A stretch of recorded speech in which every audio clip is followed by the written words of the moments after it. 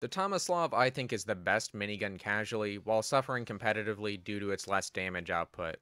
Being able to be sneaky as heavy is awesome, and you can kill a lot of unprepared enemies by just ambushing them around corners or jumping around and pre-revving.